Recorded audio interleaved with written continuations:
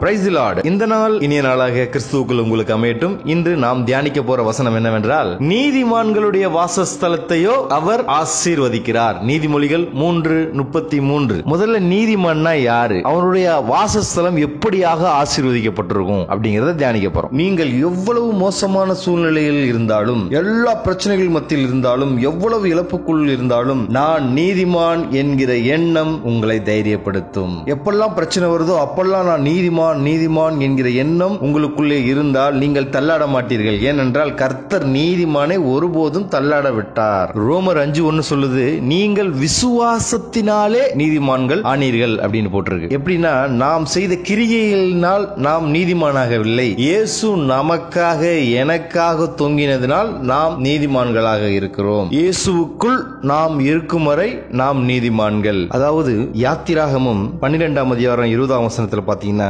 புளிப்பில்லாத அப்பம் உங்கள் வீட்டில் இருந்தால் நீங்கள் நீதிமான். புளிப்பில்லாத அப்பம் என்பது பரிசுத்த வாழ்க்கையை குறிக்கிறது. அப்ப வீடு ஆசீர்வதிக்கப்பட்டிருக்கும். உங்கள் வீட்டின் உள் பாவம் இல்லை என்றால் மேகஸ்தம்பமும் அக்கினி ஸ்தம்பமும் உங்கள் வீட்டின் மேலே நின்று உங்களையும் உங்கள் குடும்பத்தாரையும் பாதுகாக்கும். உங்கள் வீட்டினுள் பாவம் இல்லை என்றால் உங்களுடைய வீடு சமாதானத்தோடே இருக்கும் அப்படின்னு சொல்லிட்டு யோபு அஞ்சு இருபத்தி நாலுல பாட்டிருக்கு. யோபு உத்தமனும் சன்மார்க்கனும் பொல்லாப்புக்கு விலகுறவுமாய் இருந்ததுனால அவனுடைய கூடாரத்தின் மேல் தேவ செயல் இருந்தது அப்படின்னு பாக்குறோம் பிரசங்கி ஒன்பது பதினொன்னுல தேவ செயல் மேன்மையும் உயர்வையும் கொண்டு வரும். சங்கீதம் தொண்ணூத்தொன்னு பத்துல வாதை உன் கூடாரத்தை அணுகாது அப்படின்னா என்னன்னா நம்ம அதுக்கு தகுந்தாப்புல நடந்துக்கணும். நீதிமானா நடந்துக்கணும். சங்கீதம் நூத்தி பதினெட்டு பதினஞ்சுல நீதிமானின் கூடாரத்தில் ரட்சிப்பின் கம்பீர சத்தம் எப்போதுமே கேட்டுக்கிட்டு இருக்கும். ரட்சிப்பு அப்படிங்கிறது ஒரு வார்த்தை அல்ல அது ஒரு தொடர்கதை. ரட்சிப்பு தொடர்ந்தா தான் நாம் பரலோகத்துக்கு போக முடியும். நீங்கள் நீதிமானாக இருந்தால்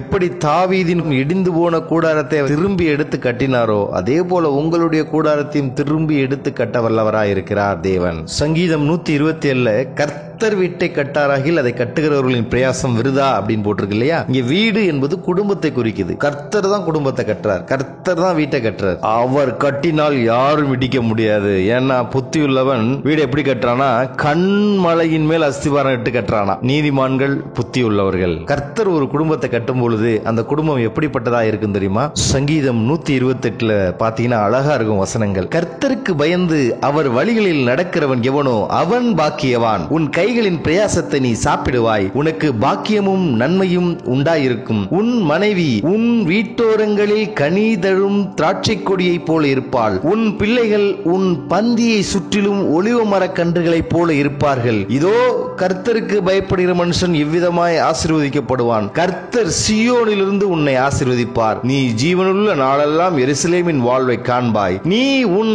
பிள்ளைகளின் பிள்ளைகளையும் இஸ்ரவேலுக்கு உண்டாகும் சமாதானத்தையும் காண்பாய். கர்த்தர் கட்டின வீடு இப்படி சமாதானமா இருக்கும். சமாதானத்தோடு மட்டுமல்ல நீதிமான்களுடைய வீடு எப்பொழுதும் நிலை நிற்கும் அப்படின்னு சொல்லிட்டு நீதிமொழிகள் பனிரெண்டு ஏழுல சொல்லியிருக்கு. நீதிமொழிகள் பதினான்கு ஒன்னு என்ன சொல்லியிருக்கு? அருமையான வசனம். புத்தியுள்ள ஸ்திரீ தன் வீட்டை கட்டுகிறாள். வீட்டை கட்டுகிறாள்னா என்ன அர்த்தம்னா தன் குடும்பத்தை மேன்மையடைய செய்கிறாள் என்று அர்த்தம். வீடு சமாதானமா இருக்கும் மேன்மையா இருக்கும் அதை விட பாதுகாப்பானதாகவும் இருக்கும். லூக்கா பத்தொன்பது ஒன்பதுல இயேசு சகை வீட்டுக்கு வந்தோன்னு என்ன சொல்றாரு? இன்றைக்கு இந்த வீட்டுக்கு ரட்சிப்பு வந்தது. சகையூர் ஒரு நடுத்தர வயது சென்ற ஒரு மனிதன் அது வரைக்கும் அந்த வீட்டுக்கு பாதுகாப்பு வரலையா ரட்சிப்பு வரலையா இயேசு என்னைக்கு உன் வீட்டுக்குள்ள வராரோ அன்னைக்கு தான் உங்க வீட்டுக்கு ரட்சிப்பு. வீடுனா எப்படி இருக்கணும் தெரியுமா? அது சந்தோஷமா இருக்கணும். ஒருவரோடு ஒருவர் உரையாடி கொள்ளணும். ஒருவரோடு ஒருவர் சுக துக்கங்களை பகிர்ந்து கொள்ளணும். ஒருவருக்கு ஒருவர் விட்டு கொடுக்கணும். ஒருவருக்கு ஒருவர் ஆலோசனை சொல்லணும். ஒவ்வொரு நாளும் வீட்டுல ஜெப சத்தமும் துதி சத்தமும் கேட்கணும். அதான் ஆசீர்வாதமான வீடு. அந்த ஆசீர்வாதத்தை தர்றவர் கர்த்தர் தான். திருமொழிகள் பத்து இருபத்தி ரெண்டுல கர்த்தரின் ஆசீர்வாதமே ஐஸ்வர்யத்தை தரும். அதனோடே அவர் வேதனையை கூட்டார். கர்த்தர் தான் வீட்டை ஆசீர்வதிக்கிறவர். கர்த்தர் தான் வீட்டை கட்டுறவர். கர்த்தர் தான் வீட்டை நிலை நிற்க பண்ணுகிறவர். கர்த்தர் தாமே உங்களை ஆசீர்வதிப்பாராக. அவமேன்